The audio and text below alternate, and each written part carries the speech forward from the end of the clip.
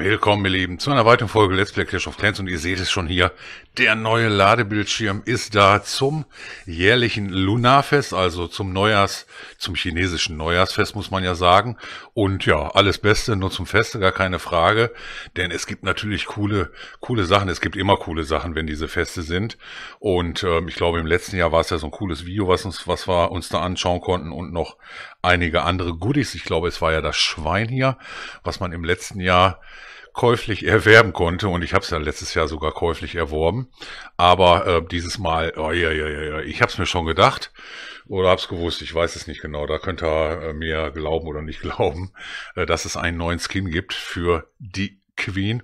Und zwar für ähm, oder eine sogenannte Warrior Queen, äh, wenn ihr auf den Startlink geht, beziehungsweise in die Ereignisse. Dort könnt ihr euch ein Video von Supercell anschauen. Sieht, ist ganz, ist ganz nett gemacht, mal so ein bisschen anderer Stil. Und ähm, aber ein schön, schöner Skin. Also ich mag ihn, obwohl es die Queen so ein bisschen ähm, ja, es ist nicht mehr unsere Queen und sie trägt vor allen Dingen Schuhe. Sie hat vor allen Dingen Schuhe.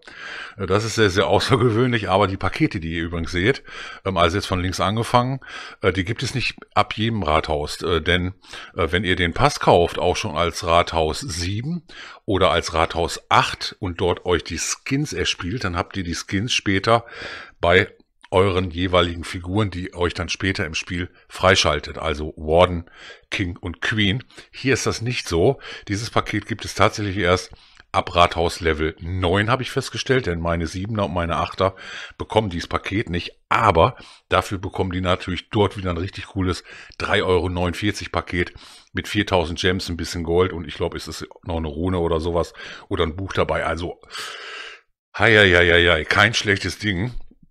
Und ähm, also äh, wer es wer's, wer's mag und wer es kann, zuschlagen, würde ich fast mal sagen. 4000 Gems für 3,49, die gibt's nur ein oder zweimal im Jahr, also richtig krasses Ding. Ist auch nur von Rathaus Level 2 bis Rathaus Level 9. Alle anderen haben diese Pakete hier, also auch das Red Pack hier hat eigentlich jede Rathausstufe.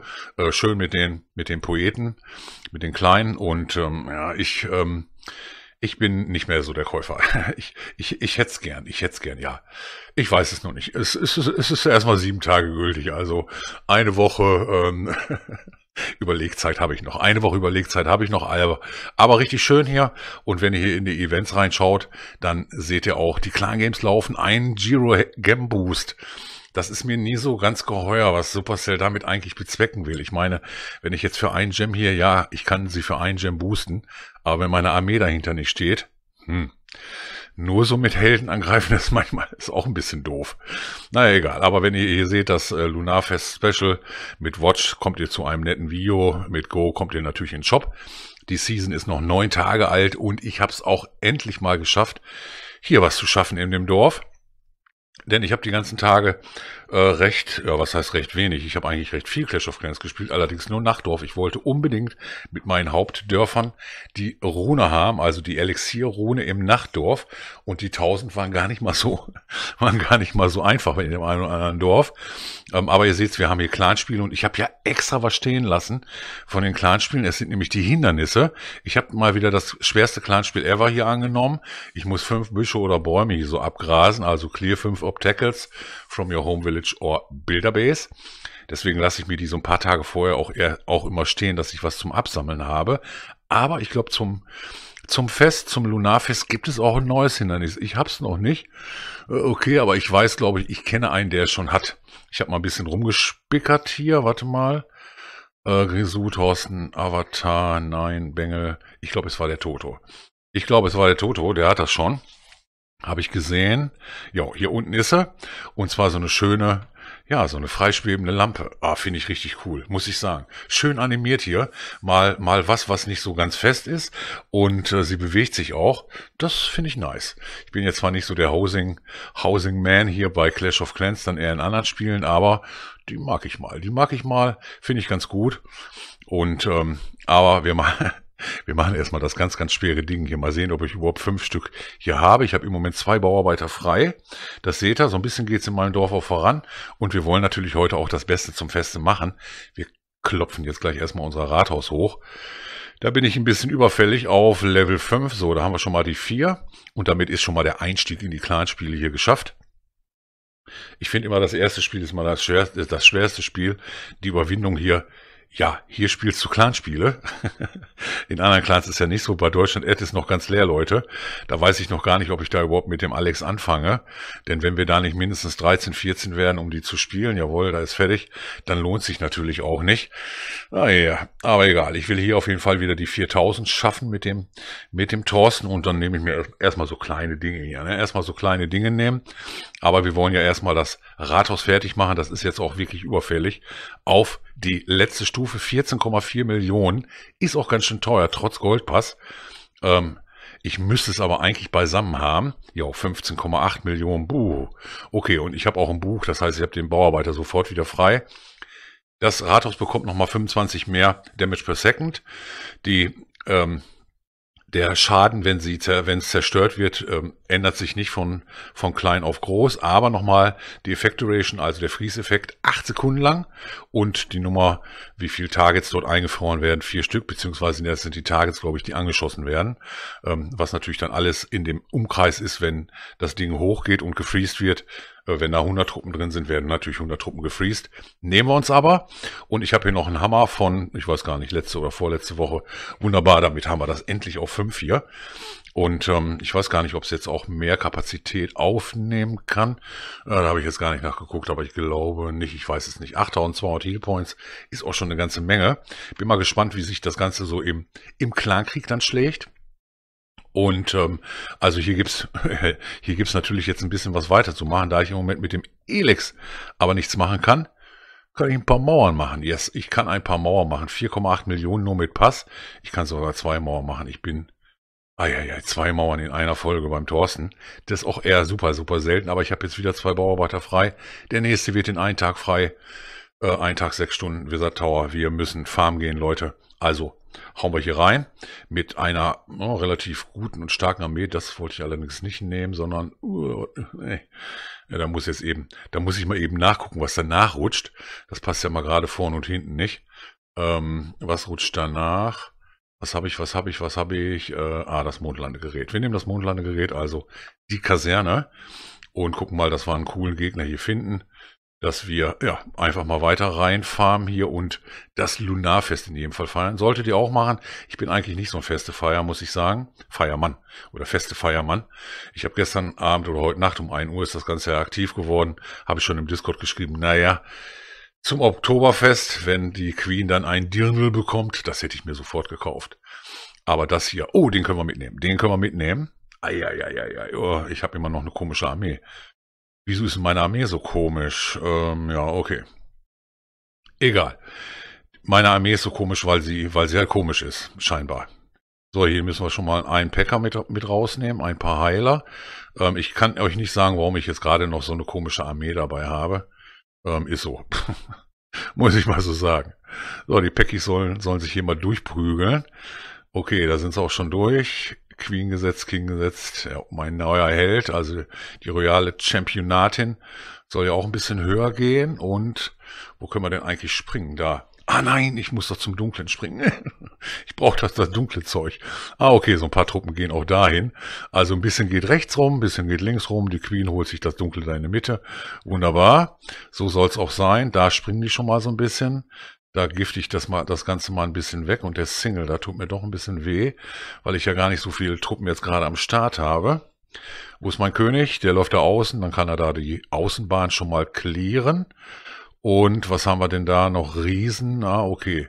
Das sieht eigentlich noch ganz gut aus. Dann nehmen wir die mal dort in Frost nochmal. Ah, das ist auch schon Gigatesla auf dem Rathaus. Aber wir haben schon eine ganze Menge an Ressourcen. So, jetzt müsste es, ah, eigentlich könnte es da der Magier machen. Der ist jetzt gerade, jawohl, der Magier hat es geschafft. Wunderbar. Auch nicht schlecht. Und dann kann das hier flugs weitergehen. Ich kann mir fast vorstellen, den machen wir hier mit den Single. Komm, Queen macht das da. Ja, Queen macht das da. Ich weiß gar nicht. Kann sein, dass er mal wieder nur Single Infernos hatte. Ich hatte jetzt nicht so viel Truppen am Start. Ähm, ist aber, glaube ich, nicht so schlimm. im Clankrieg, oh, den hätte ich gestern Abend fast wieder verpennt. Ich war, ich bin montags, dienstags immer lange unterwegs und oh, ich war, ich war wieder ganz schön fertig. Als ich nach Hause kam, habe ich mich ein Stündchen hingelegt. Ihr kennt das. Ich lege mich mal gerade ein Stündchen hin. Und acht Minuten bevor der CK vorbei war, oh, der, der war ganz nett, ähm, habe ich dann äh, noch meinen anderen Angriff machen müssen. Na, Clanspiele laufen auf jeden Fall beim Toto. Keine Frage. Äh, das nächste, oh, weiß ich noch nicht. Muss mal gucken. Die baue ich aber mal, baue ich die eigentlich mal nach. Ich finde die eigentlich gar nicht schlecht, die Armee, denn die ist nicht ganz so teuer. Kostet 376 Dunkles. Und damit kann man ja ein, schon einiges reißen. Ne, ne, ich glaube, die nehmen wir ruhig nochmal nach. Nehmen wir nochmal nach.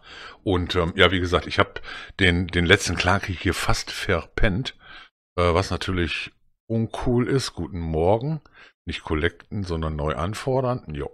Ich wollte auf jeden Fall mal so ein bisschen dranbleiben hier mit den Dörfern. Und ähm, ah, kurzer, kurzer Quickie ins, in den letzten Clankrieg. Denn auch wir haben hier natürlich immer wieder Clankriege gespielt und jetzt haben wir zweimal wieder am Stück gewonnen. Ihr seht so eine äh, kleiner roter Eintrag hier mal wieder mit zwei verlorenen, aber der letzte hier war, ich will nicht sagen dominant, wir kriegen immer so ein bisschen die Krise, also ich zumindest, wenn der Gegner hier ein Stern nach dem nächsten reinholt und äh, beziehungsweise Dreier reinholt und wir liegen gnadenlos erstmal hinten, aber wir schlagen dann meistens erst gegen Abend zu und der Vita hat hier nochmal die 50 Sterne komplett gemacht mit seinem Angriff auf die Nummer zwei. Äh, meine Base hat ganz gut gehalten, also es ist nicht mehr meine alte Base, die nicht mehr so gut gehalten hat, sondern meine Base hat tatsächlich mal fünf Angriffe auf sich gezogen. Also cooles Ding hier habe ich äh, zur Verfügung gestellt bekommen mit freundlichen Dank an dem Eyewitness AK Juli von uns und äh, ja, fünf Angriffe ist schon ganz nett, äh, wenn man die auf seine Base zieht, bevor sie den drei empfängt. Also ich habe auch drei kassiert, aber das ist dann im fünften Anlauf nicht so schlimm. Ich meine, der hatte dann vier Scouts vorher und äh, dann, dann fällt auch jede Base irgendwann mal. Aber hier ist ja mein Rathaus, äh, beziehungsweise das Rathaus hier ist auch schon auf, ah, habe ich jetzt gar nicht gesehen, aber da seht ihr den Fließeffekt mal ganz gut. Halt, ich gehe mal ein bisschen näher für euch rein. Der Gegner hatte mit Masse Lavahunde in der Clanburg. Ähm, ja, finde ich, es gibt jetzt ein bisschen wenig Beschuss hier für, für die Queen. Ich meine, gut für uns, schlecht für den Gegner. Das wird dann so eine Queen in der Regel eigentlich packen. Ich denke mal, Lakai hat er noch, doch einen Lakaien hat er noch benutzt, damit es nicht ganz so lange dauert. Das kommt noch dazu und mit 26 Minern soll es dann gleich hier der Base zu Leibe gehen. Ich bin mal gespannt. Hier funnelt er, glaube ich, schon. Und hier hinten fangen die jetzt schon an. Pekka äh, sorgt hier unten jetzt für den Funnel aus der Kaserne. Und mal sehen, was er in der Kaserne drin hat. Diese Hocks sind ja zurzeit sehr, sehr beliebt in der Kaserne.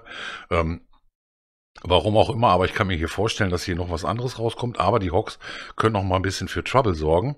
Jetzt geht's hier unten in jedem Fall weiter. Die Queen macht hier oben das komplette Compartment einfach mal ganz alleine für sich leer und dann geht's hier, ah, die Miner. Bei einem meiner Angriff jetzt hat sie auch so nach außen gezogen. Da habe ich auch nicht ganz so gut gefunnelt.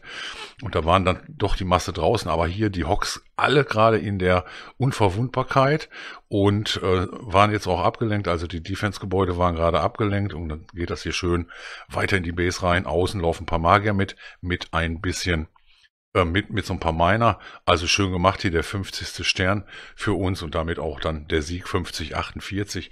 Oh, da war ich auch froh, denn ohne den fetten Bonus hätte ich jetzt heute Morgen das Rathaus nicht machen können. War auf jeden Fall mein Ziel. War jetzt schon ein bisschen überfällig, aber wie gesagt, ich habe ein bisschen die anderen Dörfer etwas mehr im Nachtdorf gespielt, weil ich unbedingt die Rune haben wollte. Bei allen meinen oder so ziemlich allen meinen Dörfern. Und mit kleineren Accounts war das gar nicht mal so einfach.